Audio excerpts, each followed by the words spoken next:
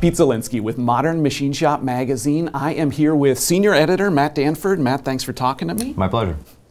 Uh, so Matt covers a beat for Modern Machine Shop. Matt writes about digital technology, including technology that in many cases is not quite there yet for manufacturing, but is coming. Um, he writes about this in his regular monthly column, Data Matters. And what I want to talk to you to about today is what you're seeing about the role artificial intelligence might have for machining facilities. Well, there's certainly a lot of buzz about that. Um, most of the readers that we visit, it seems like something that's that's far off. For now, they're really interested more in uh, machine monitoring than machine learning.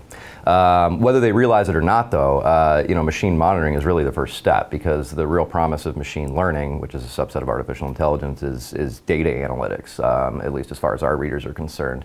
And uh, machine monitoring systems, um, also uh, shop management, ERP systems, provide the raw data that you need for that analysis. So it's really sort of um, a first step, you know, whether they realize it or not, to uh, capabilities that um, you know are still yet to come. Okay, great, great, great, great. So let's dive into that. Machine monitoring. Um, that's the step that's in place today. What do you mean by that specifically? So uh, basically, just you know, pulling data directly from either the control itself or sensors mounted to various uh, components on the machine tool, uh, and you know, this can be used for you know things like preventive maintenance. Uh, the most common applications we see are people pulling CNC data just to see how their machines are performing. Right, right. Uh, so we walk into shops and we see that more and more, like monitor displays right. with pie charts yes. or green, mm-hmm. red, yellow displays. Yeah. What does it take to do machine monitoring really well?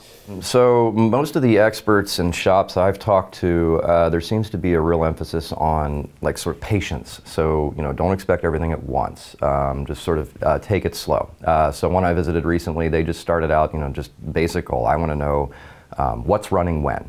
Uh, and this isn't just on the manager level. Um, you know, they actually, uh, through integration with the ERP system, and uh, had a, a, pacing bar uh, installed at each workstation, so that the operators and the people, you know, setting up the machines and running the machines could could tell where they were at. This is how many parts uh, I'm supposed to have produced by now.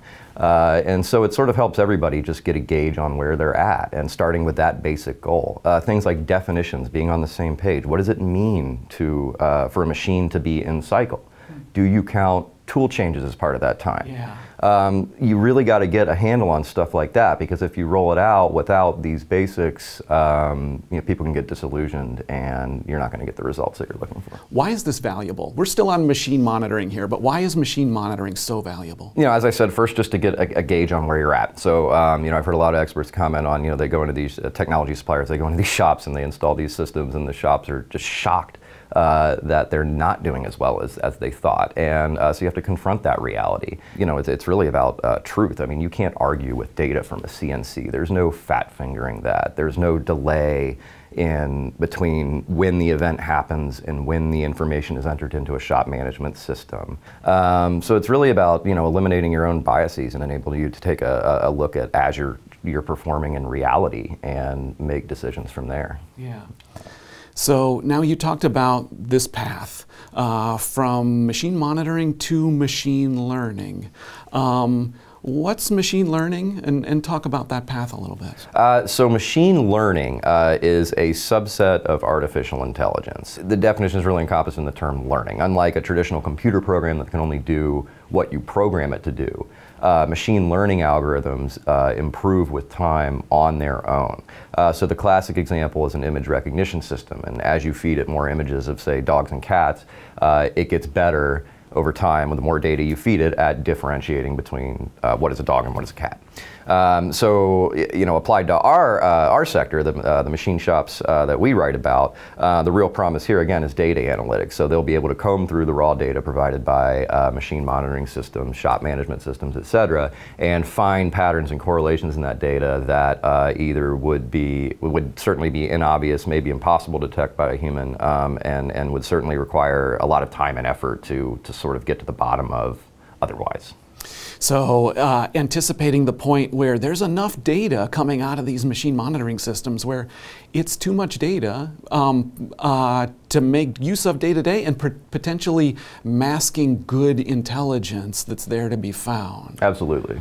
Um, and we don't know what's coming yet. We don't know what capabilities are going to be there. You know, I've talked to a lot of ERP providers that are working with machine learning, and, and but um, a lot of it is still sort of forward-looking. But we do know it's coming, and uh, you know, the best thing to do now is is um, you know get these systems up and running, and um, you know bring your shop management uh, into the 21st century, I guess.